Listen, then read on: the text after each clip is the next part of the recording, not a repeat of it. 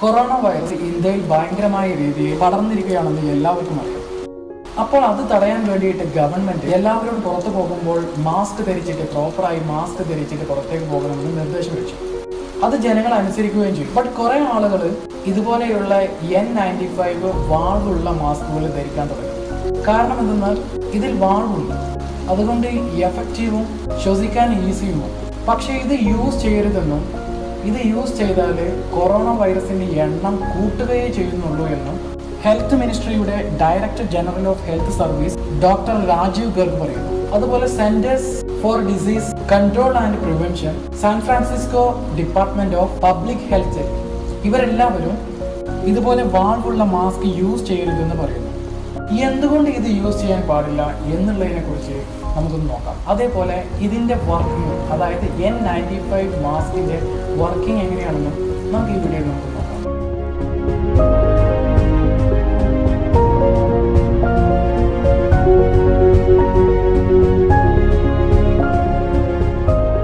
നമ്മൾ കുറെ ആളുകൾ ഇതുപോലെ സർജിക്കൽ മാസ്ക് അല്ലെങ്കിൽ കോട്ടൺ കൊണ്ടുണ്ടാക്കിയ മാസ്ക് യൂസ് ചെയ്യും. ഈ മാസ്ക് എല്ലാം ചെറിയ ചെറിയ പാർട്ടിക്കിൾസിനെ അല്ലെങ്കിൽ വൈറസിനെയോ ഭയങ്കരമായ എഫക്റ്റീവോട് കൂടിയിട്ട് ഫിൽട്ടർ ചെയ്യുന്നു എന്നുള്ളതാണ് നമ്മൾ വിചാരിക്കുന്നത്.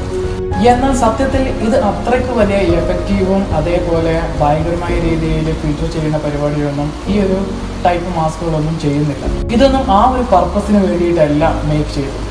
പിന്നെ എന്തുകൊണ്ടാണ് നമ്മളോട് ഇത്തരം മാസ്കുകൾ ധരിക്കാൻ പറയുന്നതെന്ന് ചോദിച്ചാൽ ഇപ്പോൾ നമ്മൾ സംസാരിക്കുമ്പോഴോ തുമ്മുമ്പോഴോ പുറത്തേക്ക് വരുന്ന ഈ ലിക്വിഡ് ഡ്രോപ്ലെറ്റ് വായുവിലുള്ള ഈർപ്പത്തിലോ മറ്റു മാർഗത്തിലോ കലർന്നുകൊണ്ട് മറ്റുള്ളവർക്ക് ബാധിക്കരുത് എന്ന് കരുതിയിട്ടാണ് ഈ മാസ്ക് ധരിക്കാൻ പറയുന്നത്.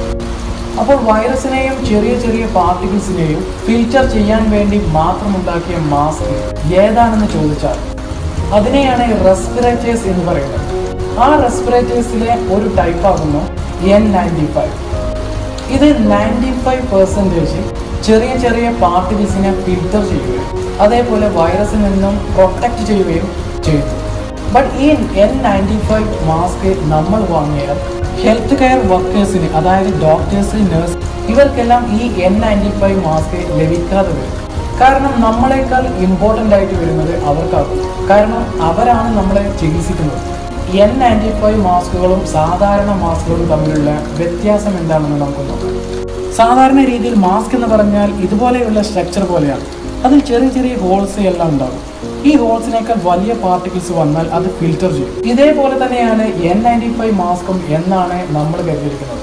എന്നാൽ അങ്ങനെയല്ല. ഇൻഫാക്ട് ഇതിലെ ഹോൾസിനേക്കാളും ചെറിയ പാർട്ടിക്കിൾസ് വന്നാൽ പോലും അതിനെ ഈ ഒരു ഈ N ninety five mask filter ചെയ്യും. അത് എങ്ങനെയാണെന്ന് നമുക്ക് നോക്കാം.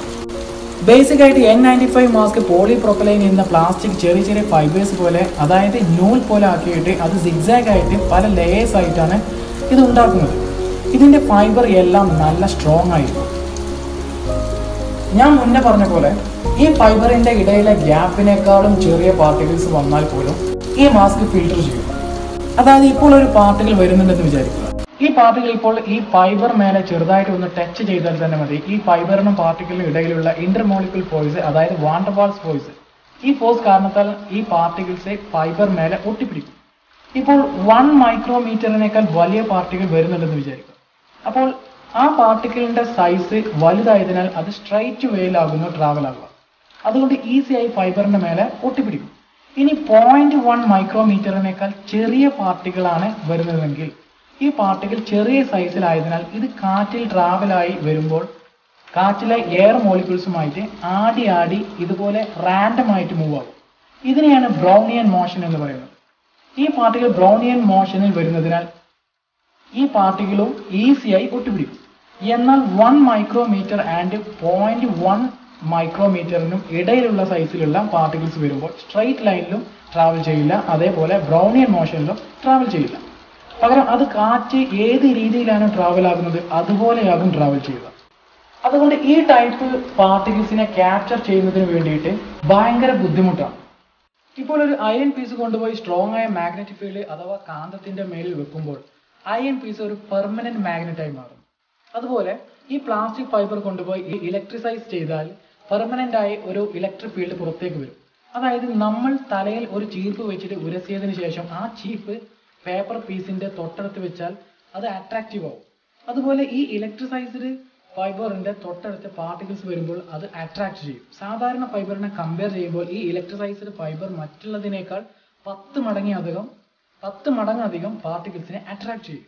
അതുകൊണ്ടാണ് ഈ ഒരു medium size പാർട്ടിക്കിൾസിനെയും N ninety five mask ninety five പെർസെന്റേജും filter ചെയ്യുന്നത്. അതുകൊണ്ടാണ് എൻ നയന്റി ഫൈവ് എന്ന് പറയുന്നത്. ഇതിലെ എൻ എന്നത് നോട്ട് റെസിസ്റ്റന്റ് ടു ഓയിൽ അതായത് ഓയിൽ പാർട്ടിക്കിൾസിനെ ഫിൽട്ടർ ചെയ്യില്ല അപ്പോൾ ഇങ്ങനെയൊക്കെ നയന്റി ഫൈവ് പെർസെന്റേജ് ഫിൽട്ടർ ചെയ്തിട്ടും എന്തുകൊണ്ട് ഈ മാസ്ക് യൂസ് ചെയ്യാൻ പാടില്ല എന്നതാണ് നമ്മൾ ഇന്ന് നോക്കാൻ പോകുന്നത്.